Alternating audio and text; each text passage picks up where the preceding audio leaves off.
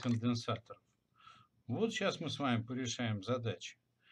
Э, теорию я затрагивать не буду, а вот результаты я все-таки записал. Итак, если у нас последовательное соединение конденсаторов, то для того, чтобы найти общая емкость, да, вот, для этого нужно сделать вот следующие действия. Вот такие вот. Что значит последовательное соединение конденсаторов? Ну, давайте попробуем решить задачу. Найти емкость батареи конденсаторов. Да? Ну, давайте. Значит, смотрите.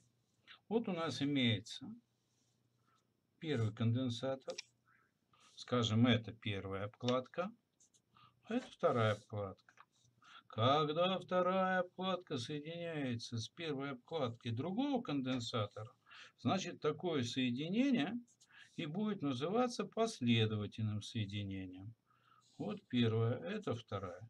Ну вот вторая обкладка второго конденсатора соединяется с первой обкладкой третьего конденсатора и так далее, и так далее.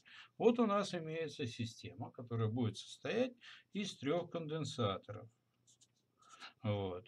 Ну, из трех конденсаторов. Ну, теперь от фонаря. Тут 3 микрофарада, тут 4 э, микрофарада, тут 5 микрофарад. И мы должны найти емкость вот этой вот батареи. То есть найти такой конденсатор, да, который будет выполнять такую же функцию, как эти три. Ну, что мы знаем? При последовательном соединении для того, чтобы найти сумму, нужно складывать не сами емкости, а величины им обратные.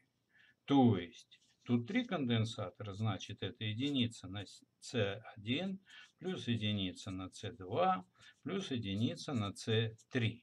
Где вот это у нас C1, второй конденсатор C2, третий конденсатор C3. Вот. Микрофарад.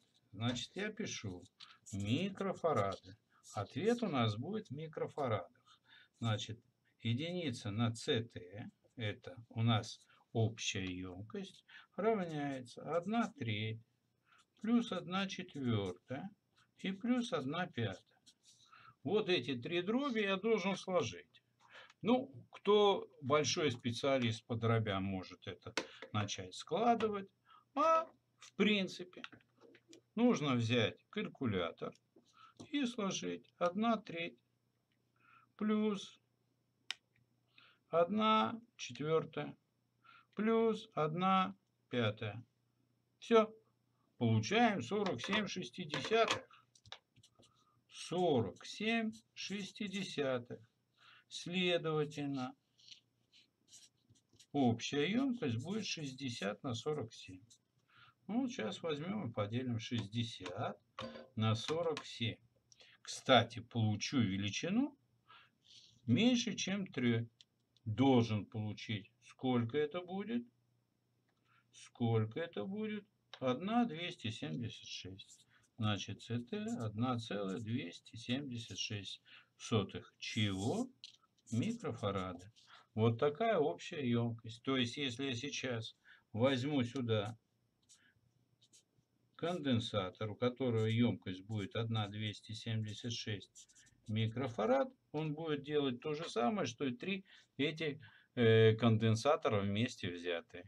Вот таким образом находят общую емкость при последовательном соединении.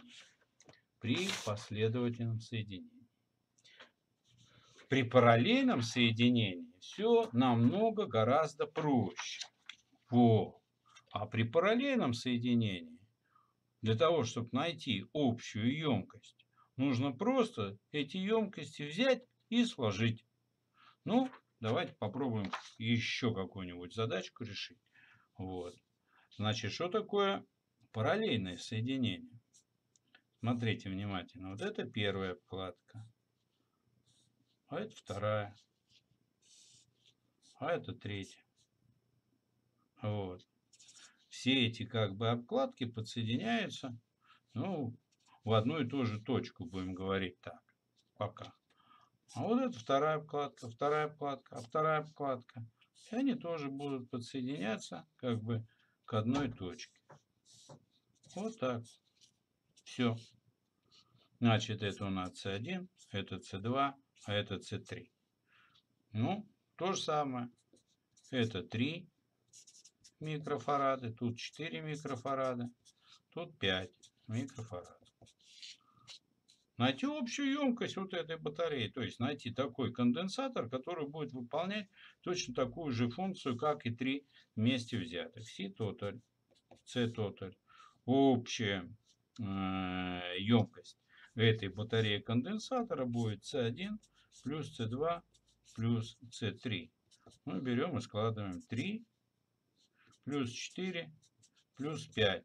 Ответ у нас будет в микрофарадах. Значит, 7 плюс 5 будет 12 микрофарад. Все. Коротко и ясно. Ничего сложного нет. Ну, естественно, дальше будут чуть-чуть посложнее задачи. Но это будет дальше. Ну а пока, пока. Всего доброго, до свидания. Если есть вопросы какие-то, пишите, с удовольствием отвечу. Всего доброго. Посмотрела этот фильм маленькое дополнение, такая ремарочка. Я записывал микрофарады вот таким вот образом. Ну, так у нас в Израиле пишут.